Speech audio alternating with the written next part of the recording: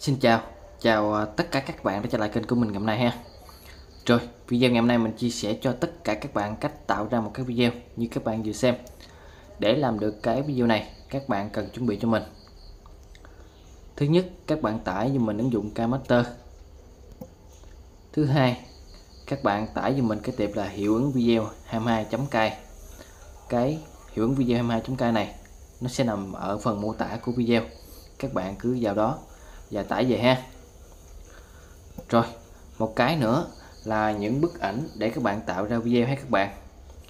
Rồi, sau khi các bạn đã chuẩn bị vật liệu, bây giờ mình bắt đầu mở camera lên. Ở đây thì các bạn chọn là dự án mới. Tiếp tục các bạn chọn 16 chính và chọn nhập dự án. Các bạn chọn OK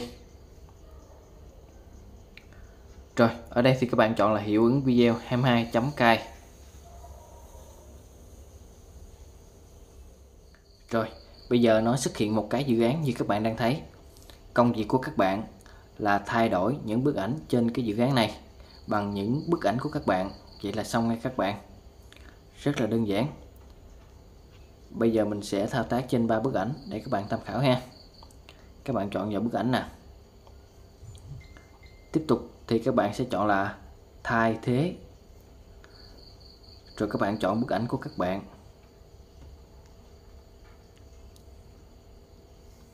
Đây, vậy là xong ngay các bạn.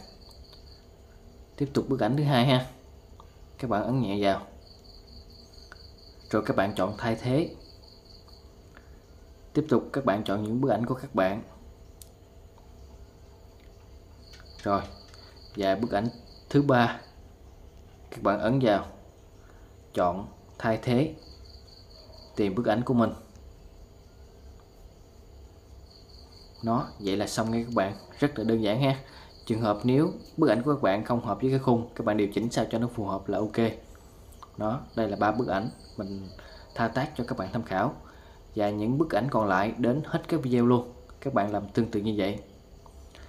Rồi, video mình xin dừng lại đây hết các bạn rồi, trong quá trình các bạn tạo ra các video bằng cái cách của mình, các bạn gặp những cái khó khăn gì, cứ để ở dưới bình luận ở dưới cái video đó. Rồi mình sẽ chia sẻ tận tình cho các bạn ha. Rồi, hẹn gặp lại tất cả các bạn ở những video kế tiếp của mình. Xin chào.